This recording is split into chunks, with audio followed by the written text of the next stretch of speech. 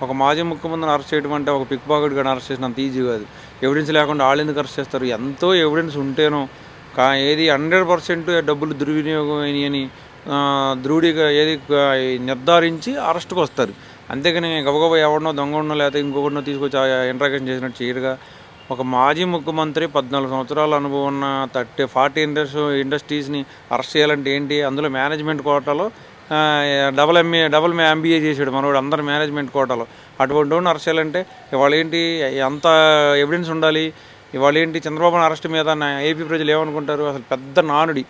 మానవుడు ఊరినే మేనేజ్ చేస్తారు వ్యవస్థలను బయటకు వచ్చేస్తారు పొద్దుగాలు కానీ పెచ్చ నానుడి ఉంది. ఆ నానుడిని కూడా దాటి వీళ్ళు అరెస్ట్ చేశారంటే ఎంత ఎవిడెన్స్ ఉంది? సరే వస్తాడేమో మేనేజ్మెంట్ కోటాలో నుంచి బయటికి. కానీ అరెస్ట్ చేశారు. అలా అరెస్ట్ చేయడానికి గల కారణాలు కూడా జ జనాల ముందు పెట్టేశారు. జనాల ముందు పెట్టారు. జనాలకు అందరికీ తెలుసు. ఏమంటే ఎవడో ముక్కుమొహం తెలియని కంపెనీ ఒక దాన్ని తీసుకొచ్చి వాళ్ళు మనకు తొంభై పర్సెంట్ తొంభై పైసలు ఇస్తాము మనం పది పైసలు వాళ్ళకి ముందే కొట్టాలని ఆ డబ్బా కంపెనీలు కొట్టేసి మళ్ళీ వాళ్ళ నుంచి ఇలా పది పైసలు అమౌంట్ వెనక్కి కొట్టించుకుంటాం. వాళ్ళు తొంభై పైసలు కొట్టనేది లేదు పక్కగా అసలు ఏమీ లేదు ఈ ఐదు సంవత్సరాలు. ఏమంటే తప్పు చేస్తే ఎవడని ఒకటి ఆంధ్రప్రదేశ్ డబ్బు ఊరినే కొట్టి కొల్లగొట్టేస్తే ఊరుకుంటారు ఏంటంటే